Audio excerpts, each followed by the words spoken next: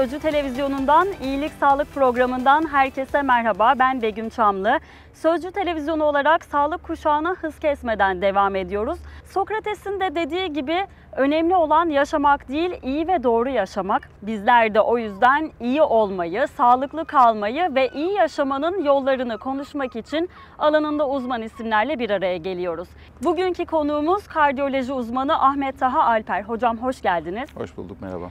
Son dönemde kalp krizi vakaları çokça arttı ve e, yaş seviyesi de oldukça aşağı çekildi. Bunun sebebi nedir? Aslında kalp krizi vakalarında belirgin bir artış dönemden döneme çok değişmiyor. Ee, ülkemiz olarak bizde bazı sıkıntılar var. Biz maalesef e, sağlığımıza yeterince özen göstermediğimiz için örneğin sigara kullanımı oranlarımız çok yüksek, obezite oranlarımız hızla yükseliyor, şeker hastalığı oranlarımız hızla yükseliyor. Bu sebeple kalp krizlerinde bir daha görünürlük söz konusu diyelim. Genç yaştaki ani ölümlerle kalp krizleri bazen birbirine karıştırılıyor. Genç yaştaki ani ölümlerin hepsi kalp krizi değildir. Bir kısmı e, genetik hastalıklara bağlı ortaya çıkan ritim bozukluğuyla ilişkilidir. E, bunlar mesela hipertrofik kardiyomiyopati dediğimiz kalp kasının kalınlaşması ya da kalbin e, genetik bazı sorunlarına e, sorunları sonucunda ortaya çıkan ritim bozuklarıyla e, görülür. Örneğin halı saha vakalarını çok fazla görüyoruz. Halı sahada insanlar topun peşinde koşarken bir anda bayılıyor ve ani ölüm olabiliyor.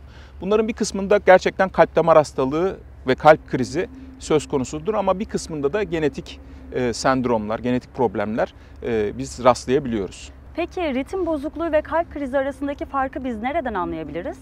Aslında yani daha doğrusu şöyle demek lazım. Kalp kriziyle bu genetik sendromları nasıl ayırt, ayırt edebiliriz? Ailede genetik problem varsa mutlaka bütün aileyi tar- taramak lazım. Benim çok fazla hipertrofik kardiyomiyopati yani kalp kasında kalınlaşması olan hastalarım var. Bunlarda mutlaka ben bütün aile bireylerini tarıyorum. Ve hastaların genç yaşlarda, 20'li yaşlarda bir kardiyoloğa hiçbir şikayeti olmasa dahi görünmesinde ben çok büyük fayda e, olduğunu düşünüyorum. Basit bir EKG çektiğinizde kardiyolog bir durumdan şüphelenebilir ve sizden ileri tetkikler isteyebilir. Bu durumda sizde genetik bir problem e, olduğu tespit edilip en azından şiddetli egzersizlerden uzak kalmanız size önerilebilir. Kalp krizlerinde ise e, genel değerlendirmeler yine burada da çok önemli. Yani 20 yaşından sonra herkes bence bir defa kalp doktoruna görülmeli. Çünkü e, ailesel bazı yüksek kolesterol vakaları ya da ailesel başka hipertansiyon hiç fark edilmeyen şeylerden bir tanesi mesela. Genç yaşlarda bazen başlayabiliyor. Hı hı. 20'li yaşlarda, 30'lu yaşlarda. E bu durum kontrol altına alınmadığında yüksek egzersiz yapılan bir durumda e, ciddi bir vücut stres altında kalıyor ve kalp krizine bu sebebiyet verebiliyor. Şimdi hipertansiyonu da çarpıntıyı da sizinle konuşmak istiyorum ama oraya geçmeden önce erken yaşta geçirilen kalp krizi daha önceden bir belirti veriyor mu? Bazen kalp krizi maalesef hiçbir belirti vermez ama göğüs ağrılarına çok dikkat etmek lazım. Ee, göğüs ağrılarını ciddiye almak lazım. Ee, nasıl göğüs ağrıları olur kalp krizi öncesi? Genellikle sıkıştırır, bastırır tarzda. Hastalar genellikle hocam göğsüme bir kaya oturuyor, büyük bir sıkıştırma hissi duyuyorum derler. Bu tip vakalarda tabii çok dikkat etmek lazım. Fakat daha düşük olasılıkla bazen batma, yanma gibi şikayetler de ortaya çıkar. Bunların hani kalp krizi olma olasılığı çok düşüktür. Fakat hiç değildir denemez. Mutlaka bütün göğüs ağrılarını bir gözden geçirmek lazım. Ee, bunun dışında genetik bazı sorunlarda hiç şikayet vermeden de ortaya çıkabiliyor maalesef. Bazı hastalarda maalesef ilk semptom ani hayatı kaybetmek olarak da e, ortaya çıkabiliyor. Bu nedenle yani hastaların genel olarak bir değerlendirmeden geçmeleri, detaylı bir muayene olmalarında ben her zaman fayda olduğunu düşünüyorum. Peki kalp krizi geçiren bir hasta iyileşirse eğer iyileştikten sonra kalıcı bir hasar kalması mümkün mü? Burada kalp krizine ne zaman nasıl müdahale edildiği çok önemli.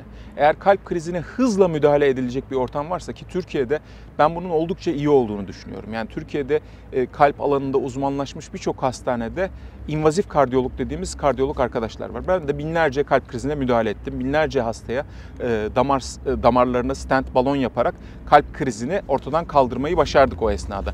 Ama hasta hastaneye eğer geç ulaşırsa ki burada ilk bir saat çok önemlidir. 6 saatten sonra çok büyük bir kalp kası kaybı oluyor. İlk bir saatte ulaşan hastalarımızda çok ciddi bir kayıp olmaz. Ee, tabii damar hastalığının yaygınlığıyla da ilişkili bu. Fakat gecikmiş vakalarda özellikle kalp yetersizliği, ritim bozukluğu gibi son derece can sıkıcı e, durumlarla uzun dönemde karşılaşmak mümkün. Kalp krizi esnasında e, vücutta neler değişiyor? Bu kalp krizinin şiddetiyle ilişkili. E, hastalar çok farklı şikayetlerle e, bize başvuruyorlar. Mesela kimisi sadece karın ağrısıyla e, gelebilir. Bu e, özellikle sağ koroner dediğimiz koronerin tutulmasında sadece karın ağrısı olur hasta. hasta hatta çok nadiren diyareyle de yani ishalle de hastalar bize başvurabiliyor. Vücuttaki en önemli değişim şu. Kalp vücudumuzun hemodinamik dediğimiz yani asıl tansiyonumuzun belli seviyede kalması ve hücrelerimizin yeterince kanlanmasını sağlayan bir organımız. Bunun etkilenmesine bağlı olarak, etkilenme düzeyine bağlı olarak biz değişik semptomlar, değişik şikayetler hissedebiliriz. Yani eğer çok ciddi bir etkilenme söz konusu olursa direkt şuurumuzu kaybedebiliriz. Ya da çok şiddetli halsizlik, nefes darlığı gibi e, bulgular ortaya çıkabilir. Bazen kalp damarlarının çok farklı noktaları, çok ciddi noktaları tutulur ve maalesef hasta e, adeta bir şok tablosu altında hastaneye ulaştırılmak durumunda kalabilir. Peki e, kalp krizinden hemen sonra eks olan bir hasta e, adrenalin verilse o hastaya geri döndürülme şansı var mı? Bu iyi bir soru. Aslında enteresan bir soru. Belki de herkesin aklına gelen bir şey. Kalp krizi e, sırasında eğer siz hastaya acil müdahale etmeyi bilirseniz şuurunu kaybetmiş bir hastayı mesela yeniden döndürme ihtimaliniz olabilir. Bizde burada tabii eğitim eksikliklerimiz var. Ciddi eğitim sorunumuz var. Yani hemen herkesin yeniden canlandırmayı bilmesinde aslında fayda var. Ee, bu açıdan kurslar açılabilir, birçok mesela e, e, sitelere eğitim verilebilir. Ve tabii bunun yanında Avrupa ülkelerinde olmayan e, bir durum var maalesef bizde. Büyük meydanlarda defibrilatörlerimiz yok. Yani şok veren cihazlarımız yok. O şok veren cihazlarımız olsa e, ki onlar otomatik defibrilatördür. E, kalp krizinin erken dönemindeki en önemli ölüm nedeni bu ritim bozukluğudur. İnsanlar hızlı bir şekilde ritim bozukluğuna girerler. O defibrilatör dediğimiz cihazlar yani şok veren o cihazlar kullanılarak aslında hastaları e, hastaların acil ekibi gelene kadar en azından bir süre stabilize etmek, onlara zaman kazandırmak mümkün olabilir. Bu tabii bu eğitimle ve halk sağlığı e, ile ilişkili bir şey. Çok önemli bir şey. Adrenaline gelince bazen kalbi tamamen toparlasanız dahi kalp kasık kasılmaz. Ona cevap vermez. Yani adrenalin de yapsanız hastayı kurtaramayabilirsiniz. Nitekim biz şok durumunda hastaları aldığımız zaman damarlarını açsak bile e, maalesef hastaları kurtaramayabiliyoruz. Çünkü kalp krizine bağlı eğer bir kardiyojenik şok tablosu ortaya çıkmışsa bu tip hastaların ölüm olasılığı %80'lere ulaşabiliyor. En iyi müdahale şekillerinde bile bu oran %50-60 oluyor. Peki şimdi e, hipertansiyondan da bahsedeceğiz dedik. Hipertansiyon ilerleyen seviyelerde kalp krizine sebebiyet verir mi? Kesinlikle verebilir. Hipertansiyon kontrol altına alındığında e, halk sağlığı açısından kalp krizi, kalp yetersizliği inme gibi çok önemli problemleri azaltmak, çözmek mümkün. Bu sebeple herkesin özellikle ailede tansiyon e, hikayesi varsa genç yaşlarda tansiyonlarını kontrol ettirmesini ben öneriyorum. Bu çok kolay bir şey aslında. 5 dakikanızı almaz. Senede sadece tansiyona bağlı tüm dünyada ölümlerin oranı neredeyse 10 milyon civarındadır. Yani bu çok çok yüksek bir rakam. Yani Covid'den ölen kaç kişi vardı düşünün. Bir de tansiyonu düşünün. Evet. Ee, neredeyse 7-10 milyon kişi hipertansiyona bağlı ve onun bazı organ hasarlarına bağlı hayatını Doğrudan kaybediyor. Doğrudan hipertansiyondan olmak zorunda değil. Peki hangi organlar etkileniyor en çok ve nasıl zarar görüyor organlar? Şimdi burada şunu düşünmemiz lazım. Tansiyon damarla ilişkili bir durum. Biz bir kan havuzu içinde yaşıyoruz. Yani parmağınıza ya da elinizin herhangi bir noktasına iğneyi batırdığınızda kan akar. Biz bir havuç havuz içindeyiz. Ve hipertansiyon bu havuzun her noktasında stres yaratır. Yani beynimiz bir kan havuzu içerisinde, kalbimiz de kanla besleniyor. Böbreklerimiz yine öyle. E, bacaklarımız her taraf bir kan havuzu içerisinde. Damar olan her yerde stres yaratır hipertansiyon. Ve özellikle beyin, kalp ve böbreği en başta etkiler. Böbrek yetersizliği oluşturur, kalp yetersizliği oluşturur. İnmelere sebebiyet verir, Alzheimer gelişmesine mesela sebebiyet verebilir. Peki hipertansiyonu olan kişiler günlük hayatında nelere dikkat etmeli? Hipertansiyon olan kişiler bir kere doktorlarıyla teması hiç kesmemeleri lazım. İlaçlarını çok düzenli kullanmaları lazım. İlaçlarla ilgili bir takım spekülasyonlara kanarak ilaçlarını bırakmamaları lazım. ve düzenli olarak ilaçlarının düzenli alıp tansiyonlarını düzenli kontrol etmeleri gerekiyor. Bu çok çok önemli. Bunun dışında tabii ki sigara kullanımından uzak durmaları lazım. Uyku düzenine çok dikkat etmeleri lazım. Bazı ilaçlardan özellikle uzak durmaları lazım. Nedir bunlar? Mesela grip ilaçlarından uzak durmak lazım. Çünkü bunlar tansiyon seviyesini hızla arttırır. Yine fazla kilo varsa kiloyu kontrol etmek lazım. Egzersizde profesyonel destek almak lazım. Çünkü egzersiz de e, tansiyon kontrolü sağlandıktan sonra yapılması gereken bir şey. Bazen egzersize aşırı tansiyon cevapları olup hipertansiyon da egzersizin faydasından çok zararında zararını görme ihtimalimiz var. Yani profesyonel bir şekilde hipertansiyonun yönetilmesi lazım. Ama ilaçlarını iyi kullanırlarsa, düzenli doktor takibi yapılırsa ki e, ben tansiyon tedavisini adeta terziye gitmek gibi görürüm. Yani konfeksiyondan bir şey almak gibi değil. Terzi sürekli size prova yapar ve o elbiseyi sizin üzerinize oturtmaya çalışır. Tansiyon ilacı tedavisi de böyledir. Bir değişkenlik gösterir. Mesela yaz döneminde bu ilacın dozunu azaltmanız gerekir çünkü terlemeyle kaybedilen su tuz oranları artar. Kış döneminde soğuktan dolayı adrenaline maruziyet artar vücutta, tansiyon ilaçlarına ihtiyaç artar. Bu sebeple e, ilaçları iyi yönetmek, sürekli kontrol altında kalmak çok çok önemli. Tabii bu herkesin kendi metabolizmasına göre kendi e, doktoruyla takibini yapabileceği Tabii. bir şey. Şimdi e, sigara kullanımı dedik, uyku dedik bunlar hipertansiyonu etkileyen e, unsurlar. Peki çarpıntıya da etkiliyor mu? Kesinlikle. Özellikle sigara ve uykuyu çarpıntıyı birebir etkiler. Uykusuz kaldığınız zaman e, vücudumuzda gün içerisinde sürekli bir adrenalin maruziyeti olur. Bu duygu durum problemlerine, tansiyonun artmasına, nabzın artmasına sebebiyet verir. Ve anlamadığınız böyle agresyonlar, sinirlilik halleri ortaya çıkabilir. O yüzden gece dinlenme zamanıdır. Uyku zamanıdır. Bizim bunu böyle kabul etmemiz lazım. Gece insan dinlenir. Peki saat aralığı var mı? Şu saatler arasında uyursak daha iyi, daha dinç ve zinde hissederiz kendimizi diyebileceğimiz. Kesinlikle var. Yapılan çalışmalar diyor ki yani 12'den önce yatmalısınız ve 7-8 saat, 8 saat civarında bir uyku herkese lazım. O dönemde çünkü vücut kendini adeta resetliyor. Bir parasempatik sistem dediğimiz sistem aktive oluyor. Çünkü vücudumuzda biz her şeyi kontrol altında tutamıyoruz. Yani bir ekmek yiyoruz, ekmeği bir şekilde metabolize ediyoruz. Ee, her şey yerli yerine gidiyor. Uyku da bizim bazı metabolizmalarımızın dengelendiği, beynimizin resetlendiği, vücudumuzun dinlenmeye çekildiği bir an. O sebeple uykudan hiç çalmamak lazım. O gerekirse sizden mutlaka alır onu fazlasıyla. Peki şunu da merak ediyorum. Çarpıntı nasıl hissediliyor? Biz çarpıntının çarpıntı olduğunu nasıl anlarız? Çarpıntı şöyle tanımlanan bir şey. İnsanın nabız atışlarını hissetmesidir çarpıntı. Her zaman nabzın yükselmesi değil. Bazı insanlar nabzı çok yavaşladığında ya da yavaş nabızla birlikte ritim bozukluğu olduğunda çarpıntı hissine girebilirler. Ama genellikle nabzın hızlanmasıyla çarpıntı hissi ortaya çıkar. Taşikardi ile ilintili evet, olabilir mi? Evet birebir. Taşikardi dediğimiz şey zaten nabzın yüzün üzerinde olması. Biz buna genellikle halk bu durumda çarpıntım var der. Ama bazen nabzın düşmesi de çarpıntı haline sebebiyet verebilir. Hasta genellikle e, göğsünde bir fazladan atma hissi olur. Çoğu insan bunu yaşamıştır. Zaten akıllı saatleri ve saturasyon cihazlarını çok fazla kullanıyoruz bu dönemde. Çarpıntı hissi olduğunuz zaman bir EKG çeken akıllı saatle EKG çekerseniz bu harika bir şey olur. Hani o nabzın, nabız artışınızın fizyolojik bir nabız artışı mı olduğu ya da bir ritim bozukluğuna mı bağlı olduğunu kolaylıkla tanımamızı sağlayacaktır. İç organlarda gıdıklanma gibi bir hissiyat veriyor diyebilir miyiz aslında çarpıntı için? Valla herhalde yani çoğu kişi böyle bunu nitelendirebilir. Fena bir nitelendirme değil. Heyecanlanınca da insanlar kalp ritmini hissediyor gibi oluyor. Hissediyorlar mı açıkçası bilemem ama en azından kalp atışımızın hızlandığını söylüyoruz. E, bunun çarpıntıyla bir ilişkisi olabilir mi peki?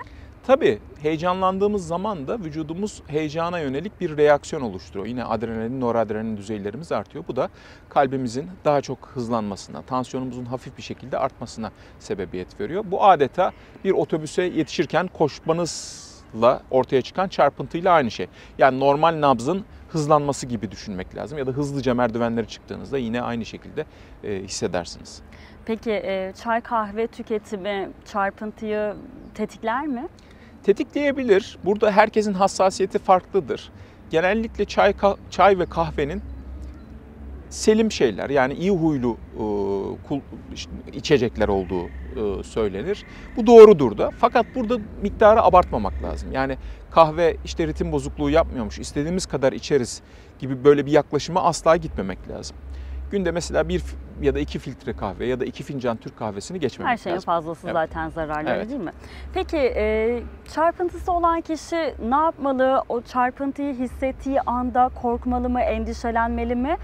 Ya da e, zaten normal olağan bir şey, arada böyle şeyler olabilir deyip normal günlük hayatına devam edebilir mi? Çarpıntıda en önemli şey bir kere nabzınızın kaç attığı seviyesidir. Yani siz bununla ilgili objektif bir delil arıyorsanız hani bunun e, olumsuz bir şey ya da olumlu bir şey olduğunu ayırt etmek için nabız sayısı burada çok önemli. Eğer nabzınız 120-130'u geçmiyorsa, 120 seviyesindeyse bu günlük bir heyecanla, bir koşuşturmayla, bir kaygıyla ortaya çıkan bir nabız artışı olabilir. Ama yaşa göre mesela 140-150'yi geçen bir nabız artışı varsa o zaman bunu belgelemek lazım. En önemli şey belgelemedir. Belgelemek için akıllı saatler varsa onların EKG çeken şeyleriyle, uygulamalarıyla EKG çekebiliriz. Ya da çok yakın bir, kendinize yakın bir polikliniğe gidip benim çarpıntım var bir EKG çeker misiniz derseniz zaten oradaki arkadaşlar size yardımcı olacaktır.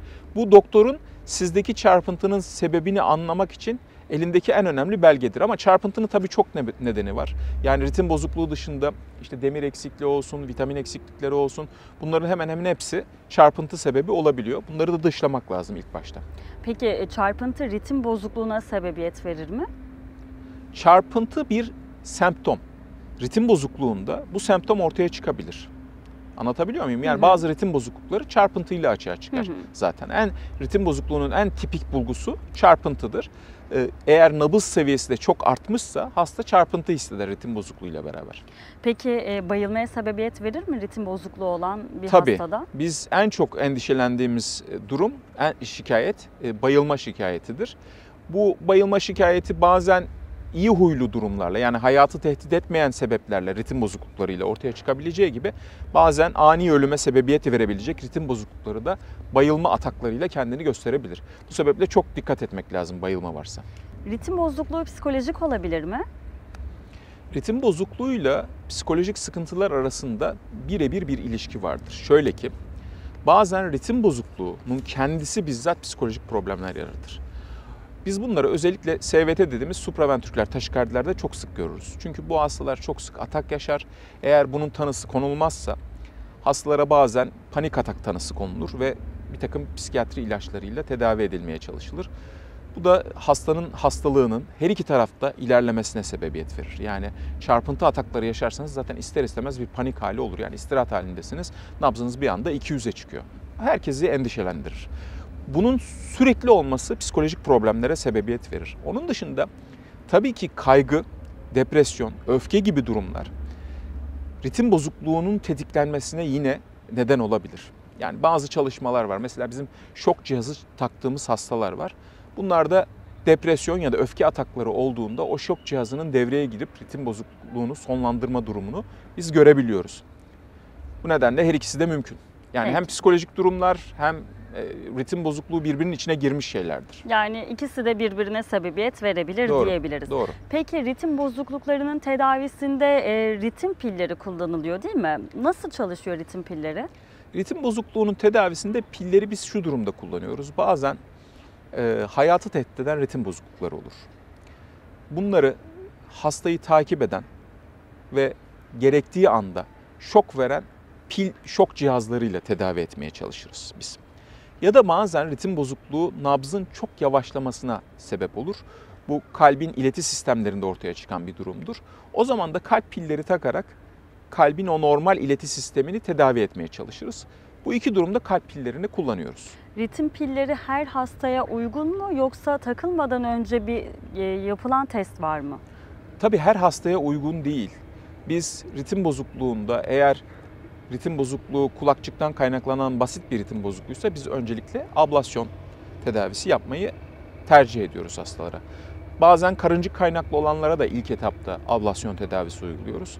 Ama yapısal bir problemi varsa, mesela öncesinde kalp krizi geçirmiş ya da genetik bir problem nedeniyle kalp kasında yapısal bir problem gelişmişse hastada ve ritim bozukluğu varsa o zaman kalp pilleri daha ön plana çıkıyor. Peki ablasyon tam olarak nedir? Ablasyon tedavisi ritim bozukluğunun kaynaklandığı bölgeyi tahrip etme tedavisidir. Biz bunu yakarak ya da radyo dalgalarıyla e, yapıyoruz. Kasıktan girilerek genellikle yapılan bir işlemdir. Hastanın hastalığının tipine göre bazen biz bunu yakarak yaparız, bazen de dondurarak yaparız. Yine hastalığın tipine göre bazen ritim bozukluğunu başlatırız. Başlattıktan sonra nereden kaynaklandığını anlamaya çalışırız. Sonra orayı bulup o bölgeyi yakarız. Bunu e, sofistike bir takım e, araçlarla yapıyoruz. Mesela 3 boyutlu haritalama araçlarıyla ya da bazı balon dondurma dediğimiz e, yüksek e, düşük ısılarda, çok düşük ısılarda e, tutarak o bölgeyi tahrip eden araçlarla yapıyoruz. Peki ablasyonun yan etkisi var mı?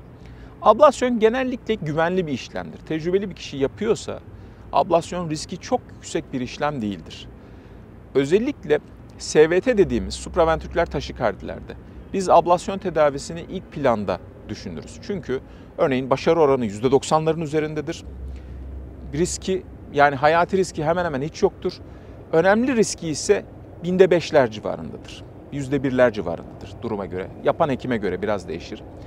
Başka ritim bozukluklarında da hastanın kalbinin durumuna göre riskler vardır. Yani yapısal olarak çok ciddi problemleri olan bir hastada tabii ki risk bir miktar daha yükselir. Yani daha önce kalp krizi geçirmiş, kalp yetersizliği olan, kapak hastalığı olan bir hastada ablasyon operasyonun riski de bir miktar daha yüksek olur. Peki işlem sırasında hasta nasıl hissediyor? Biz işlemleri ablasyonda iki şekilde yapıyoruz. Bazen lokal anesteziyle yaparız, bazen genel anesteziyle yaparız. Lokal anesteziyle yaptığımız operasyonlarda hastanın bir miktar heyecanlanması bizim işimize gelir. Çünkü ritim bozukluğunu başlatmak isteriz. Hı. Genellikle rahat tolere edilebilen bir işlemdir ablasyon işlemi. Yani hastalar çok çok nadiren çok ben hocam çok ağrı hissettim derler. Çoğunlukla hissetmezler. Çok ağrı hissedebilecekleri işlemleri biz zaten genel anestezi altında, derin sedasyon altında tamamen uyutarak yapıyoruz. İyileşme süreci nasıl oluyor ablasyon işleminden hemen sonra? Ablasyondan hemen sonra biz hastaları zaten aynı gün ya da hastalığın durumuna göre ertesi gün taburcu ediyoruz. Ondan sonra hızlı bir şekilde işlerine dönebiliyorlar. Günlük hayatlarına Tabii, da devam edebiliyorlar. Peki ondan sonra dikkat etmeleri gereken noktalar var mı? Bu ritim bozukluğunun tipine göre değişir. Örneğin atrial fibrilasyon dediğimiz bir ritim bozukluğu varsa hastaların özellikle kilo kaybetmeleri, bazı ilaçları almamaları, uyku problemlerini çözmeleri çok çok önemli. Çok istediğimiz şeylerdir. Ama SVT'de hastaya zaten ablate ettiğinizde, o fazladan yolu ortadan kaldığınız, kaldırdığınızda ya da ritim bozukluğu odağını ortadan kaldırdığınızda genel halk sağlığı önerileri dışında çok fazla bir öneriye ihtiyacı yoktur hastanın. Yani yine beslenmesine dikkat edecek ama kalp damar hastalığı açısından korunmak için ya da hipertansiyondan korunmak için dikkat edecek. Kalp sağlığında ilaç tedavileri çok fazla kullanılıyor. İlaç tüketimine karşı olan çok da hasta var. E, bu kalp sağlığını daha doğal yöntemlerle geliştirmek, e, iyileştirmek mümkün mü peki? Doğal kelimesi maalesef birçok şeyin ambalajı olarak bize sunuluyor. Doğal olan iyidir, doğal beslenin, doğal yaşayın gibi bir takım sloganlar toplumda geliştirilmiş durumda. Aslında doğallığın iyi olduğuna dair elimizde bir delil yok. Doğal iyidir ya da kötüdür. Bunlar mümkün. Ateş de doğaldır ama sizi yakar. Mesela doğal bir takım beslenmeler var. Mantar toplayıp ölenler var. Fazladan bal yiyip şeker hastası olan ya da kalp rahatsızlığı geçiren insanlar var.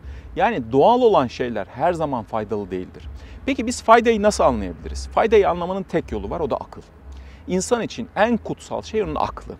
Biz akıl yoluyla geliştirdiğimiz bazı bilgi edinme yöntemleriyle faydayı ya da zararlıyı anlayabiliyoruz. O yüzden bir şeyin doğal olması onun faydalı olduğu anlamına gelmiyor. Önemli olan bilimsel çalışmalarla onun ispatlanmış olması. Yani doğal diye mantar yersiniz ya da şunu söyleyeyim mesela bitkilerden bahsediyorsunuz. Sigara da bir bitki, bir tütün biliyorsunuz ama belki de dünyadaki en önemli ölüm nedenleri bir bitkiden kaynaklanıyor. Yani bitkiler her zaman faydalı değil. Bitkilerin içinde de bazı aktif moleküller var. Bunlar sizin zehirlenmenize, ölmenize, uzun dönemde çok ciddi hastalıklara, kansere, kalp krizine tütünde olduğu gibi sebebiyet verebiliyor. Yani her bitkiyi sarımsak gibi, maydanoz gibi, değerlen, domates gibi değerlendirmemek lazım. Ki onları bile fazlaca tüketirsek bunun da zararı olur Zararı var. belki. Şimdi gelelim bu ilaç meselesine. İlaçlar bağımlılık yapar mı? Biz günlük hayatımızda aslında birçok şeyi kullanıyoruz ama onların onlara bağımlı mıyız, değil miyiz bunun farkında değilim. Mesela herkes her gün ayakkabı giyiyor. Her gün ayakkabı giyiyoruz. Ayakkabısız sokakta dolaşan kimse yok. Peki biz ayakkabıya bağımlı mıyız? Tabii ki bu bir bağımlılık olamaz. Her Belki gün arabaya ama. biniyoruz. Her gün arabayla bir yerlere gidiyoruz. Biz arabalara bağımlı mıyız? Değiliz. İstersek ayakkabı da giymeyebiliriz, arabaları da kullanmayabiliriz. Ama bazen ayakkabıda ayağımızı ayağımıza zarar verebiliyor, ayağımızı sıkabiliyor. Ayakkabının dahi komplikasyonları var. Ki trafiğin, arabaların çok daha büyük komplikasyonları var. Yani çok fazla ölüme sebebiyet verebiliyor. Ama biz ne ayakkabıyı giymekten ne de arabaları kullanmaktan vazgeçmiyoruz. Neden? Çünkü biz bunların günlük hayatındaki günlük hayatımızdaki faydalarından %100 eminiz. Çok faydalı. Ayakkabı kullanmak gerçekten faydalı bir şey. Yani ayakkabısız dolaşırsak ayağımız çok perişan olur gerçekten. İlaçları da böyle değerlendirmemiz lazım. İlaçları da hekimler adeta sizin ayakkabının faydalarını bildiğiniz gibi faydalarının farkında. Ha ikinci bir görüşe her zaman ihtiyaç olabilir. İlaçların yan etkileri olabilir. işlemlerin yan etkileri olabilir. Bunları hekime sormak lazım. Hekim bir tarikat şeyhi değil ona siz yüzde yüz bir itaatle gitmenize gerek yok. Ama hekime gerekçelerini sorun. Neden ben bu ilacı kullanmak durumundayım? Ya da bunun riski ne? İlacı kullanmazsam ne olur? Gibi gerekçelerini hekimden isteyin. Hekim size gerekçelerini makul bir şekilde anlatıyorsa sizin ödeviniz o ilaçları kullanmak. Çünkü bizim bedenimize karşı sorumluluğumuz temelde aklımızdan gelir, duygularımızdan değil. Bedenimize karşı bir sorumluluğumuz varsa aklın bize emrettiği şeyleri yapmak durumundayız. Yani tedavide A noktasından B noktasına taşımak için aslında önerilen ilaçlar doktor tavsiyesi e, altında önerilen ilaçların kullanmasını siz tavsiye ediyorsunuz. Peki yine buna karşı çıkan ikinci bir görüş olsa dahi bu ilaç kullanımına karşı çıkanlar şimdi çokça konuşulur. E, aktarda ben işte şu karışımları yaptırdım, tükettim, bana çok iyi geldi, sen de dene diyerek tavsiyeler verilir. Türk toplumunda da özellikle çokça tavsiye üzerine de e, herhangi bir şekilde doktora danışmadan hazırlanmış bitkisel ilaçların tüketimi çokça fazla. E, bu konuda neler diyebiliriz? Nasıl bir tavsiye verirsiniz? Aktarlardaki o ilaç karışımlarına, bitki karışımlarına yönelik. Şimdi ciddi bir hastalığınız varsa ciddi bir tedavi görmeniz lazım. Ben bitkisel şeylere karşı değilim. Yani baharatlara karşı değilim. Bunlar bize hem lezzet veriyor hem de birçok sağlık sorununu belki de önlememizi önlememizi sağlıyor. Bunlara ben tamamen karşı değilim. Yani bir tarçın tüketmişsiniz, bir zencefil yemişsiniz, bir çörek otu, çörek otu tüketmişsiniz. Bunlar tabii ki faydalı ürünler ama bunları da profesyonel tüketmek lazım, uygun şekilde tüketmek lazım. Ama ciddi hastalıklar, mesela hipertansiyon ciddi bir hastalık, kolesterol yüksekliği ciddi bir hastalık. Bunları çok profesyonel bir şekilde yönetmek lazım. Yoksa maliyeti, faturası bize çok çok ağır oluyor. Ee, bu sebeple yani ciddi bir hastalığınız varsa öncelikle ciddi profesyonel destek almanız lazım. Ha bitkisel ürünler, bitkisel beslenmek. Burada da kendinizi geliştirirseniz yani bilinen bitkilerden yeterince beslenirseniz, her türlü şeyi yerseniz, uygun yerlerden, bilinen yerlerden bunları tüketirseniz tabii ki faydasını görürsünüz. Bir zencefil mesela metabolik sendromda işte hipertansiyonun önlenmesinde, kilo kaybında vesaire çok faydalı bir Ama e, tek başına yeterli tek başına olması yeterli mümkün değil. değil. Bir de onun içerisinde çok fazla etken madde var.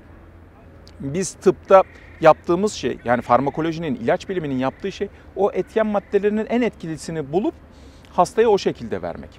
İkinci bir nokta bu bitkisel beslenmede ilaç etkileşimlerine çok dikkat etmek lazım. Biz mesela bazı hastalara güçlü kan sulandırıcılar veriyoruz. Hı hı. Hastalar nasıl olsa bu ilaçla bunun bir zararı yok deyip gidiyor bazı bitkileri tüketiyor. Anlatabiliyor muyum? Bunları kanı daha fazla sulanmasına sebebiyet veriyor. Böylece çok ciddi kanamalar ortaya çıkıyor. Ya da bazı ilaçlar işte sarı kantarondu, zerdeçal gibi birebir o kan sulandırıcı ilaçla etkileşebiliyor.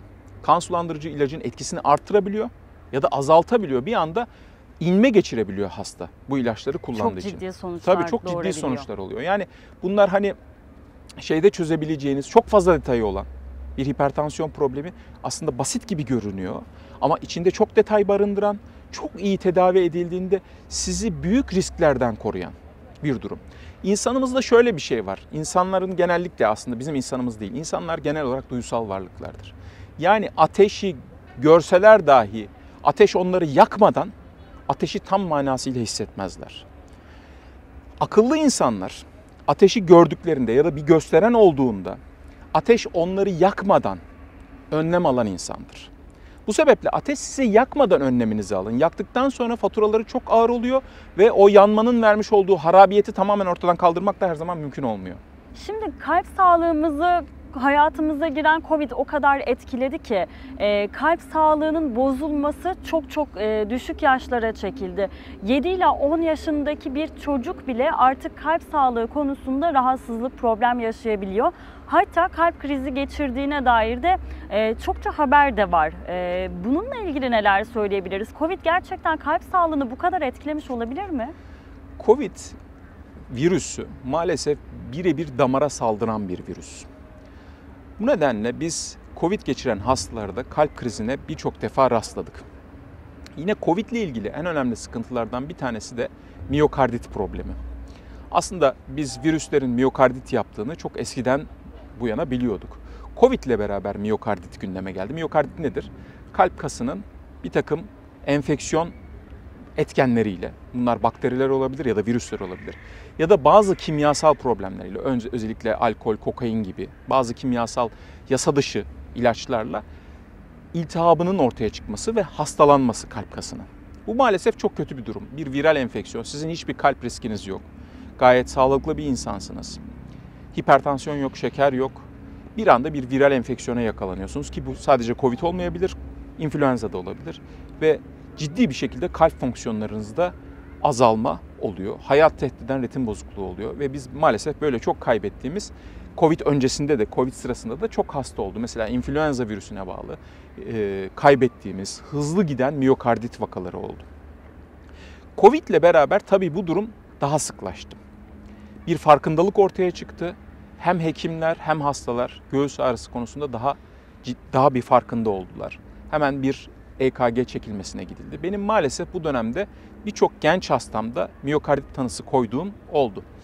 Ee, bu miyokarditler ileride ne yapar bilmiyoruz. Yani bazısı hafif atlatılıyor. Önemli bir kısmı aslında hafif atlatıldı.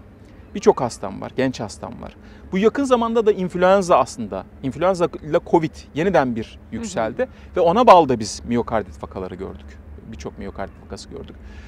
Şimdi bu miyokardit vakaları uzun dönemde bizim karşımıza özellikle ritim bozukluğuyla gelir. Çünkü miyokardın yani kalp kasının bir kısmında hasar ortaya çıkar ve o dokuyu biz kaybederiz.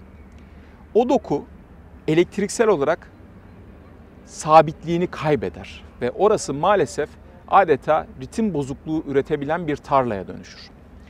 İleri yaşla beraber oradan hayat tehdit ritim bozuklukları ortaya çıkar. Biz bunu hani başka durumlarda koyuyor, görüyorduk. Bunların e, risklerini nasıl belirliyoruz? Burada kalp MR'ı çok çok önemli.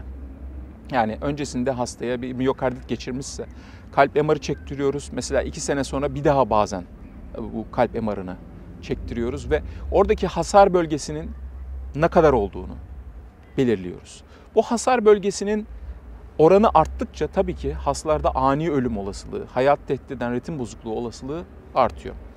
Covid ile beraber de belki yıllar içerisinde bu tip vakaları daha çok göreceğiz. Peki Covid'in kalp sağlığına bu olumsuz etkileri bu kadar konuşuldu ama bir yandan da aşıların da etkisi çok konuşuldu.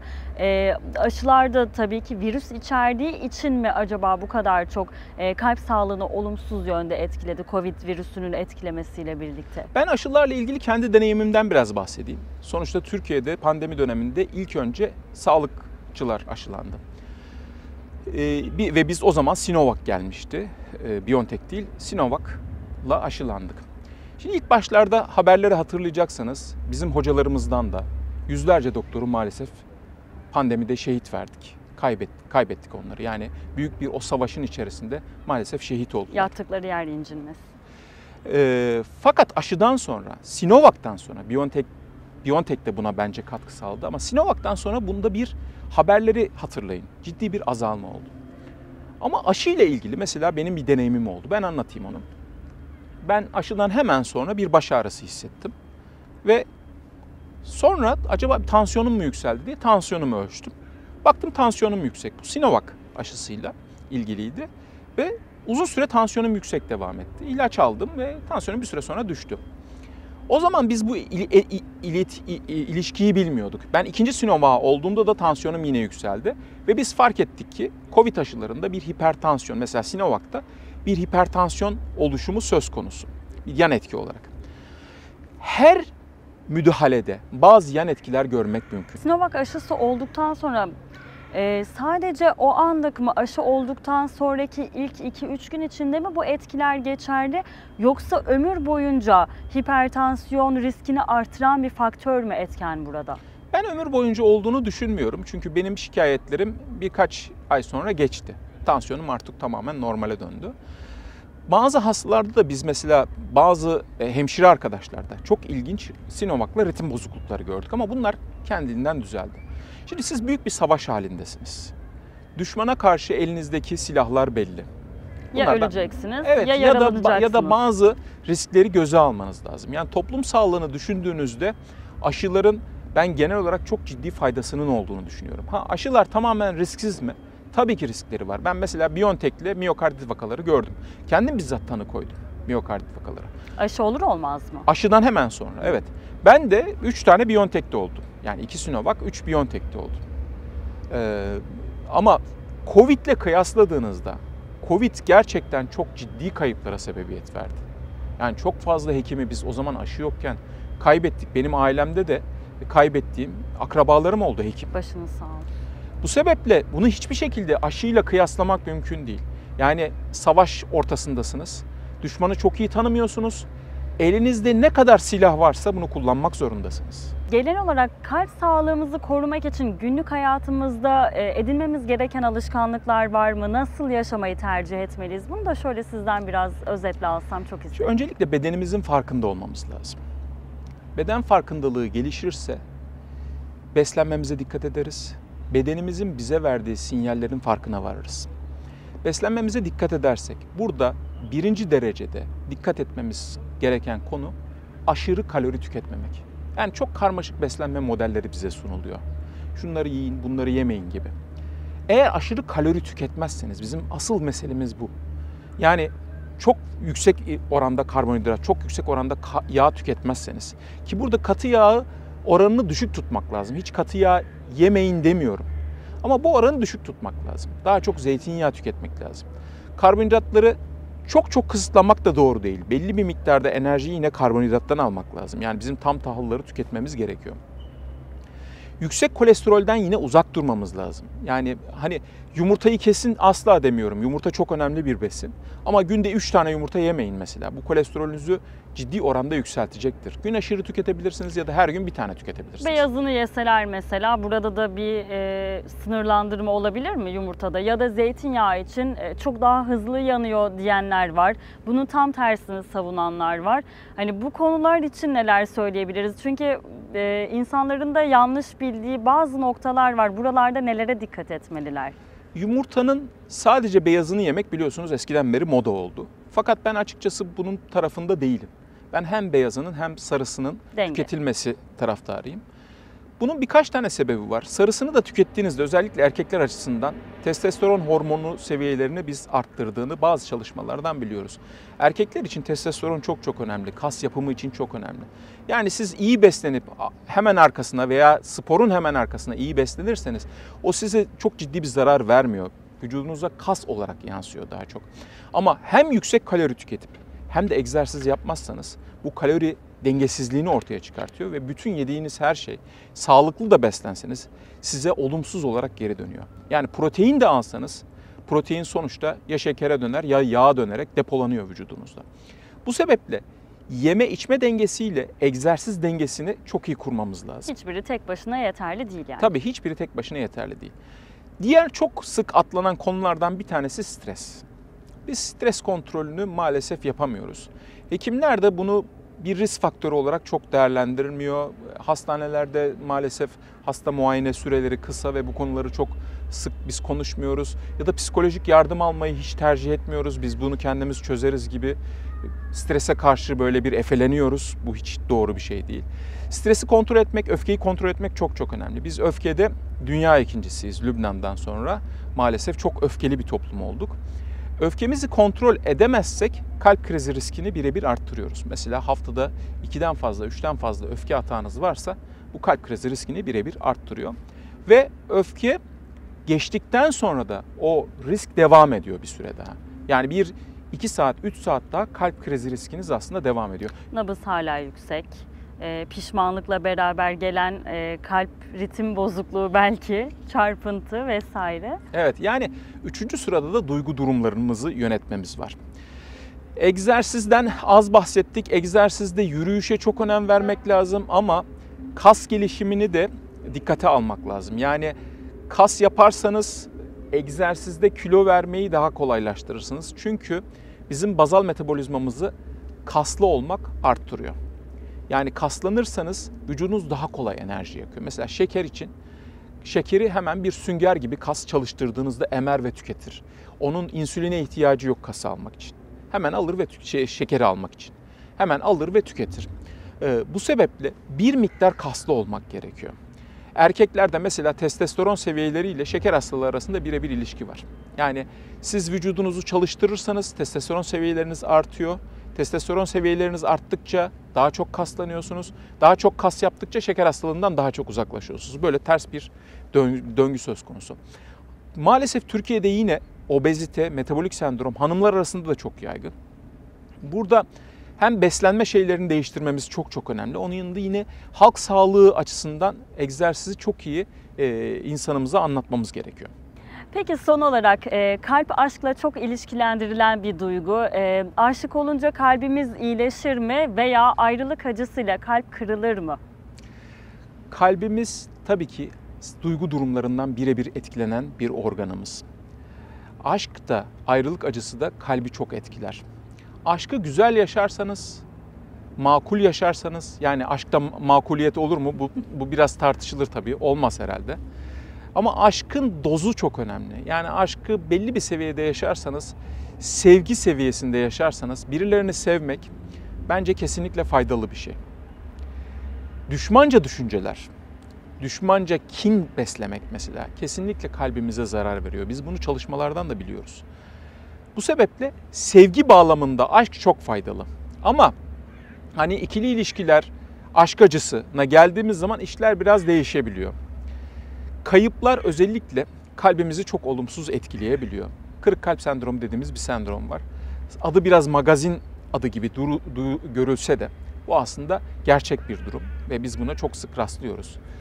Özellikle menopoz dönemi sonrası kadınlarda çok sık görülen bir durum bu.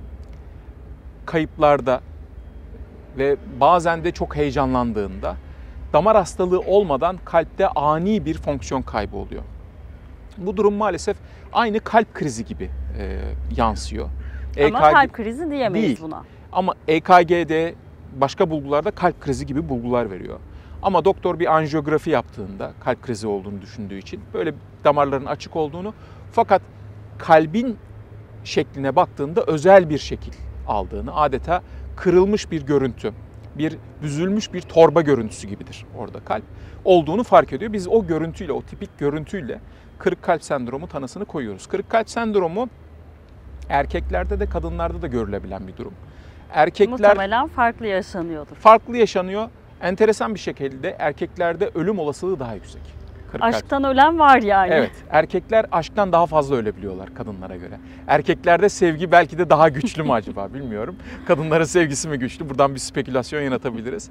Ee, ama şunu söyleyeyim kırık kalp sendromunu ciddiye almak lazım. Bazı hastalar çünkü bu yüzden uzun süre yoğun bakımda kalabiliyorlar.